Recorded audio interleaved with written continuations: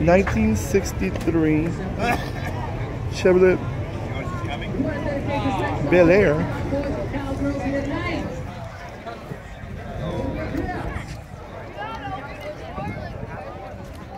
Stick shift.